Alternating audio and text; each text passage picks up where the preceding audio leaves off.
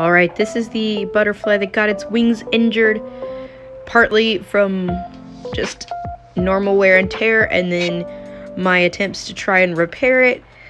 Um, it just was so stressed out during the process that it kept breaking more of its wings without me even able to, like, just calm it down and fix the wings. So, but it can have a good life right in here, and as you guys can see, I gave it a fresh um, thing of sugar water and it's happily drinking. So that made me feel a lot better.